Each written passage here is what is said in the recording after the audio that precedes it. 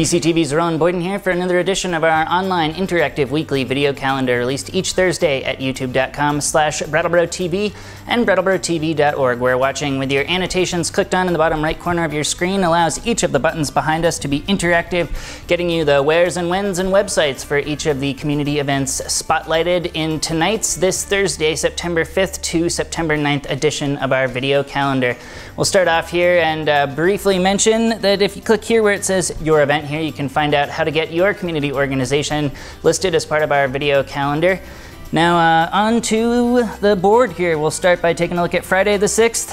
It's Gallery Walk this weekend, and that means there'll be oodles of area artists, performers, entrepreneurs, and everyone else gathering up for Vermont's epic run of Fall Foliage First Fridays. Now, Gallery Walk in Brattleboro does have its own website, so don't hesitate to click the interactive link here to find out how best to entertain your family or friends tomorrow night with a bustling series of downtown events that includes the highly anticipated Safe and Green sponsored photo exhibit set to unveil three world class photographers' visual documentation of the area's Vermont Yankee nuclear protest movement entitled Taking Power Photographs from the People's Movement to Shut Down Vermont Yankee. With some beautiful black and whites, you can soak up at the Elliott Street Cafe from 5.30 to 8.30 p.m. tomorrow, or catch a glimpse of right now as part of our video highlight The photos are by three different area photographers, and they're going to show the history of the uh, Vermont Yankee anti-nuclear movement. And the photographers will be there, uh, Kate Woolner from Northfield, Mass., and Lionel Delevingne, who's from Stockbridge, Mass., and David and Shaw. David Shaw, who's from, from Dummerston. Next up, no affliction known to humankind demands more bravery of an individual than dealing with Alzheimer's. And this weekend, the national research leading voluntary health organization, the Alzheimer's Association, will partner with the Brattleboro Retreat to bring its message of support to our community with Brattleboro's 2013 Walk to End Alzheimer's, set to kick off this Saturday morning at 9.30 a.m. with registration on the retreat campus on Linden Street.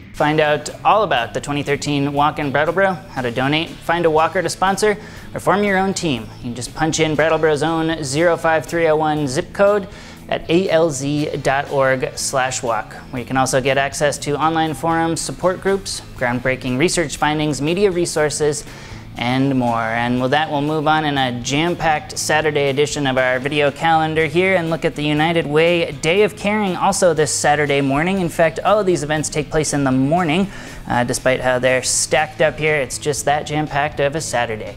All right, so uh, we'll jump uh, ahead in the schedule here, talking about this year's Day of Caring from United Way of Windham County, just set to kick off with an opening breakfast at the American Legion in Brattleboro at 8 a.m. on Saturday Uh, as the area branch of the nationwide nonprofit looks to pair local volunteers with community projects. This year's efforts projected to total more than 10 grand in labor services from 100 volunteers in 20 area communities.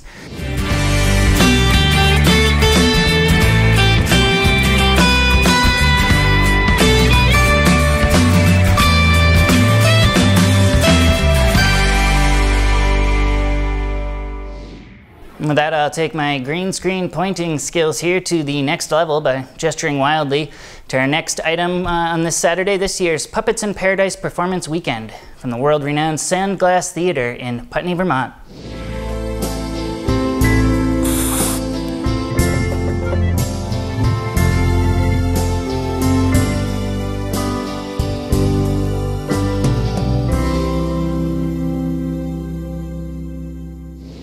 Now, Puppets in Paradise, or PIP as the hipsters call it, runs from 10 a.m. to 4 p.m. both Saturday and Sunday, bringing you two full days of puppetry and performance, all in the enchanted garden setting of landscape architects Gordon and Mary Hayward.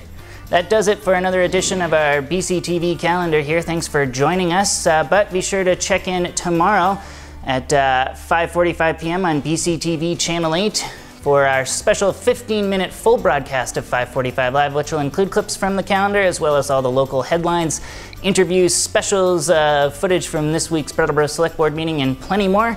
Again, tomorrow, 5:45 p.m. on BCTV Channel 8. All right, uh, that does it. I can tell because the graphics are slipping away behind us. So if you haven't already, head to BrattleboroTV.org and find out how to subscribe to us on YouTube, Facebook, and Twitter uh, to stay in touch with all of the, the community's happenings in video form. In the meantime, I'm Roland Boyden. Thanks for watching.